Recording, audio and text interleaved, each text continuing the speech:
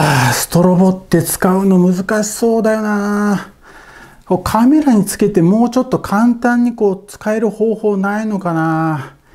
なんか光の調節とかうまくできなくてなんか難しいんだよね。簡単にできる方法ないのかな。ストロボって難しそうだなーって思っているあなた。今回ですねこのストロボを簡単に使う方法をご紹介していきたいと思ってます。まあね難しいなーって思ってる方はですねぜひ参考にしてみていただけたらと思います。今回ですね、もうめちゃくちゃ簡単に写真の質を上げる方法として、こちらのですね、ストロボの使い方っていうところをですね、ご紹介をしていきたいと思ってます。まあ言い方としてはフラッシュとかストロボとかスピードライトとかいろんな言い方しますけども、まあここではちょっとストロボという言い方をしていきたいと思ってます。このストロボを使うことによって簡単にですね、写真の質を上げることができます。例えば暗い場所で撮影するときに ISO を上げなきゃいけない、シャッタースピードを遅くしなきゃいけないっていうところで、こうブレが気になったりとか IS を上げることによってノイズが気になったりっていうところがあるかと思います。そういったものをですねこういったストロボを使うことによって解消することができるんですよね。例えばフルサイズじゃなくて APS-C とかマイクロフォーサーズ使っててちょっと暗い場所に弱いカメラを使っている場合でもこういったですねストロボを使うことによって簡単にですね写真の質を上げる。綺麗なですね写真を簡単に撮ることができるのでぜひですねこういったストロボの使い方を覚えていっていただけるといいかと思います。ます。でこういったストロボって使うのでも難しそうだな撮ってみないとどういった写真が撮れるのかわかんないしむちゃくちゃ難しそうだなって思ってる方もいらっしゃると思うんですけども今回はもう初心者の方がすぐに使えるような簡単テクニックのところをですねご紹介していきたいと思ってますので、まあ、最後までご覧いただけたらと思います。ストロボにですねこう TTL というですね機能があるんですけどもこれはですねストロボによってあるなしがあったりするので TTL のですね機能が入ってるストロボを選んで使ってていただければめちゃくちゃ簡単にですねこう光の調節を自動でこのストロボがやってくれるっていうですね機能があるのでもう自分はですねカメラの設定をしてあとはですねこうシャッターボタンを押してストロボをですね発光させて写真を撮る。でもうちょっと明るくしたいな暗くしたいなっていうところでここにですね、まあ、露出補正みたいにこう調節明るさを調節できるものがあるのでそこで調節するっていうところですねカメラの設定の方はいじらずにそこのですね明るさの設定だけするっていうですねめちゃくちゃ簡単な機能があるので、まあ、実際にどういう風に使っていくのかっていうところですね、ぜひ参考にしてみていただけたらと思っております。まあ、明るく綺麗な写真をですね、撮ることができるので、ぜひチャレンジしてみていただけたらと思います。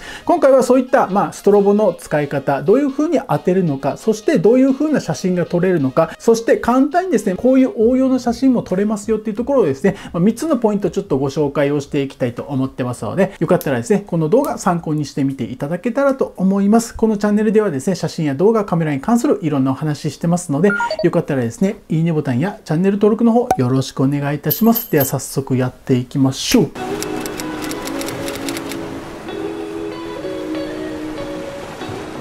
はい、それではですね、こうカメラの上にストロボをつけて、カメラがあって、まあ、被写体があってっていうところで、まあ、どういうふうにストロボを使っていくのかっていうところをやっていきたいと思っております。はい、ここではですね、手軽にストロボを使うために、もうカメラの上にガチャンコって載せた使い方っていうのをですね、簡単にお話ししていきたいと思うんですけども、まずはですね、こうガチャンコ載せていただいて、まあ、電源をこう入れていただく。はい、で TTL っていうのを使っていただければもう自動でこのですねストロボが、まあ、距離とか合わせて、まあ、明るさを調節してやってくれるので、まあ、そのまま光らせてもらえれば簡単にですね、ま、こういったストロボを使った写真を撮ることができます。であとはですねこう F 値を決めていただいてシャッタースピードを決めていただいて、はい、カメラによってこう使えるシャッタースピードの上限っていうのが決まっているのでそれよりもですね、まあ、遅く設定していただくっていう形になります。あとはですねもう F 値シャッタースピードを決めたらそのまま押していただくと、まあ、こういう風に撮れるんですよね。で今ですねちょっとマイナス3に設定してるので明るさが足らなかったんですけどもこれをまあ0に設定したとします、はい、あとはピントを合わせて直接取りました。まあこんな感じですね。まあこれぐらいの明るさでちょうどいいかなってところで撮影していただく形になるんですけども、まあ、こういうふうにカメラをですね今直接被写体に向けて撮影をしております。直接被写体に向けて撮影してもいいんですけどもそうするとですねこう硬い光が被写体に当たってしまうのでちょっと柔らかい光を、まあ、室内で撮影したい時っていうのはこういうふうに上にですね、まあ、照射して真上に照射してその光をですね被写体に当てることによって柔らかい光が天井から降りてきて柔らかい光が当たって撮影することができます。実際にどういうふうに撮れるかやってみましょうか。先ほどよりも、ま自然な明るさのですね写真を撮ることができます。撮影場所によっては天井が白じゃなかったりする場合もあって壁の方がですね横の壁の方が白い場合もあります。そうすると天井が暗いとですね光量が落ちてしまったり色の変化があったりするので例えば壁が白だった場合にこういう風にですね動かして後ろの壁にですね当ててこういうふうにですね後ろ向きにして後ろの壁に当てて、まあ、被写体に光を当てるっていう方法もあります。これで撮ってみましょうかね。ストロボの明かりを調節してもうちょっと強い方がいいなって思ったら強さを上げて。はい。まあ簡単ですよね。もうこういうふうに首の動きを使って天井にバウンスするのか壁にバウンスするのか直接当てるのかっていうですね、え使い方があるので、まあ、この辺まずですねやってみていただくとすごく簡単に撮影できるかと思います。で基本 F 値はですねちょっと絞ってあげた方があの解像度が増すので絞って撮影していただく、まあ、5.6とか8ぐらいを使って撮影していただく。でシャッタースピードは条件に合わせてこのカメラの場合はここの200分の1以下にですね、まあ、設定して撮影していただく。あとはここの TTL のま明るさの部分で、まあ、調節もうちょっと明るい方がいいとか暗い方がいいとか調節して撮影することができます、はい、これが基本的な使い方ですね。天井が良ければ天井の方に向けて、えー、打っていただくと、まあ、こういう風な自然な感じで撮影することができますし後ろの壁の方がいいよね。もうちょっと自然な感じになるよねって時は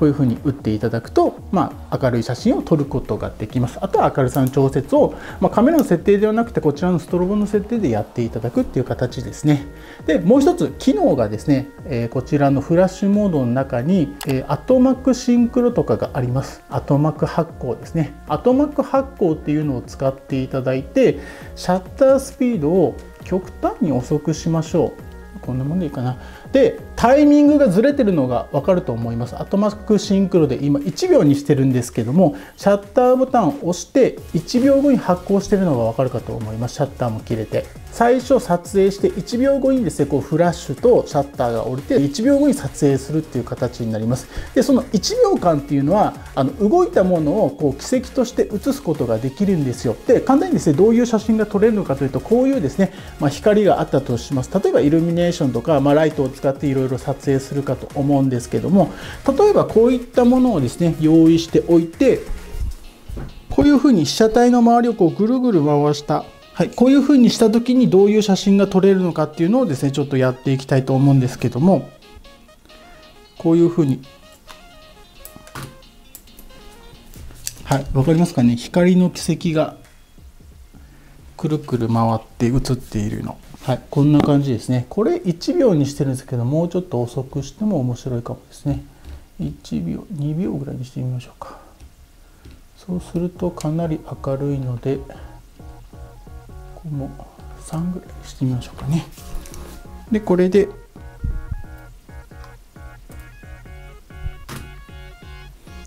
うん。こんな感じでですね撮影できるので、まあ、面白いのでこういったアトマックシンクロとか普通のですね撮影とか、まあ、いろんな方法をですねイルミネーションの中でやってみていただくと面白いのかなというふうに思います。通常発光とですねこういったアートマックシンクロですね写真を撮る前にいろいろ動かしてでその動かした後に光らせて止まった写真っていうのを撮ることができるので動くものと動かないものを同時に写す時に、まあ、面白い写真をこういったものを使うと撮ることができるので、まあ、ぜひですねストロボを使ってみる時に試してみていただけたらと思います。あとですねもう一つのですね方法として、まあ、こういうふうにイルミネーションがありました。被写体がいました。手持ちでですね先ほどみたいな設定で光をですね揺らして撮りたい場合はここのですねフラッシュモードを普通の通常発光にしていただいてなるべくちょっと暗めの設定にしていただくそしてですね最初に発光させて動かす